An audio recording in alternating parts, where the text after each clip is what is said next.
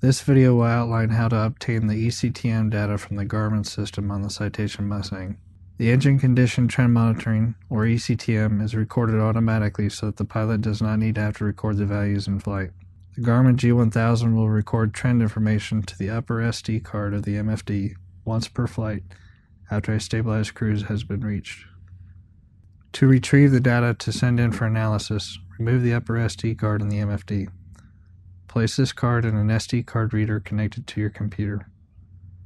Access the SD card and open the ECTM folder.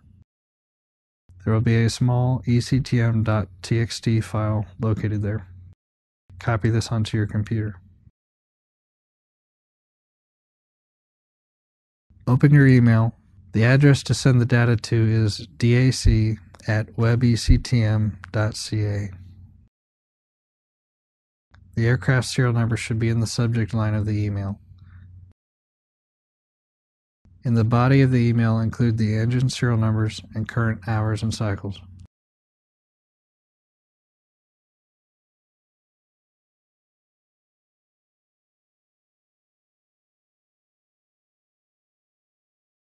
Attach the ectm.txt file.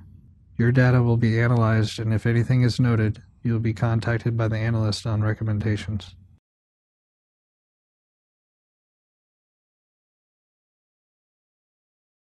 Instructions can also be found on the Cessna Support website under Model 510 Propulsion.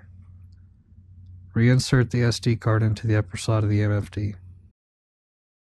If there are any questions or concerns regarding the engine trending of the PW615 engine, please contact Team Mustang at 316 517 5490 or by email at teammustang at cessna.com.